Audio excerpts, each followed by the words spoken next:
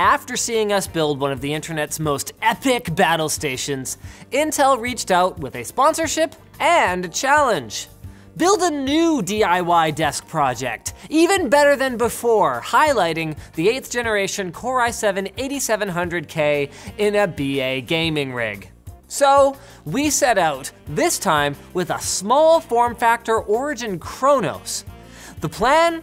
A gaming setup that lets you have it any way you like, switching between PC gaming and console gaming with ease. And with a throwback to that analog feel with physical buttons. Oh, and RGB naturally.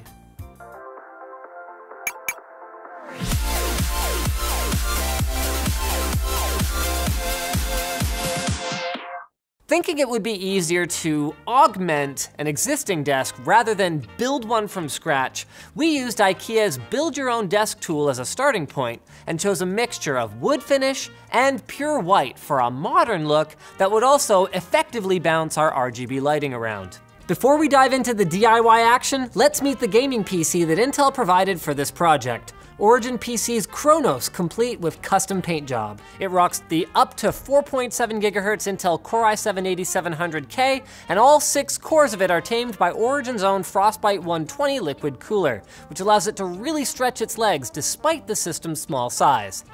So, we modified the cabinet portion of the desk so that it could hold not only our Chronos, but also an Xbox One X and a PS4 Pro. Oh yeah, and all of the circuitry needed to switch between them. So we picked up these LED toggle buttons on Amazon, this HDMI switch for changing our inputs, and an Arduino Uno to act as the brain for the whole thing. To make room for all these goodies, we decided to remove the cabinet's top three drawers and then to shift the rails down on one of the two large bottom drawers so we could swap it out for a small one. Then, using some white wood paneling that we got from Home Depot, we made three custom shelves that we fastened to the cabinet walls by simply drilling new holes and inserting those small wooden dowels that are often included with IKEA furniture. Pro tip, by the way, you can take as many of those as you need from the bins at IKEA customer service. Ultimately, we didn't end up with a ton of extra space around each system, which isn't great for thermals. So, if you're following along at home, then you might choose to keep just one drawer at the bottom instead of two. Or you can do what we did and integrate some cooling fans at the back. This allowed us to keep the storage space at the bottom and the more finished look of the tight compartments. But hold on a second. If there's so little space above the Chronos, where are all the switches and wiring gonna go? Ha, oh ye of little faith.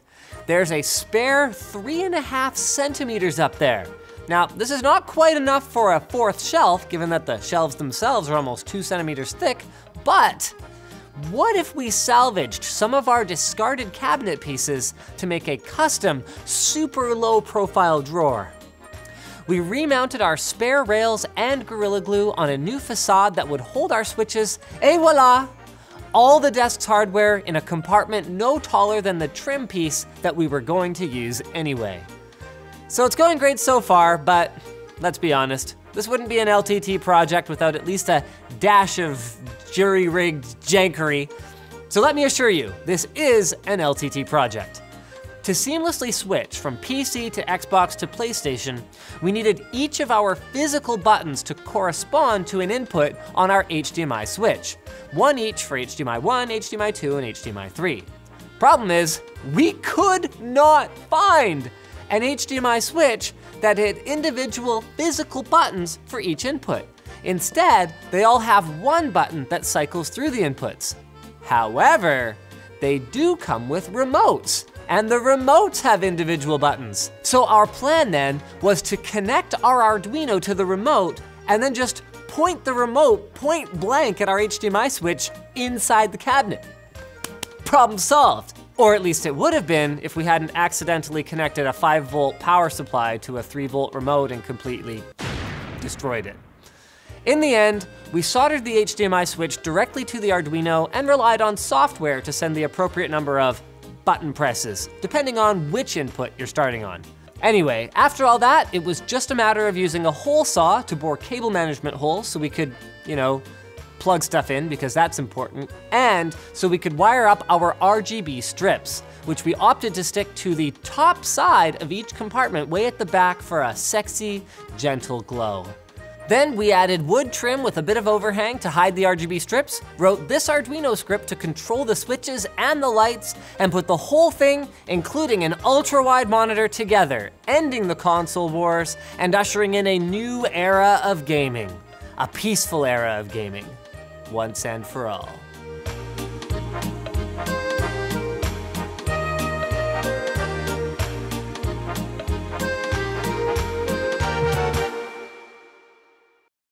Not bad for a total of $420. So thanks to Intel for sponsoring this build, and thanks to you guys for watching. If you disliked it, you can hit that button, but if you liked it, hit like, get subscribed, maybe consider checking out where to buy the stuff we featured at the links in the video description. Also down there, we're gonna have our merch store, which has cool shirts like this one, and our community forum, which you should totally join.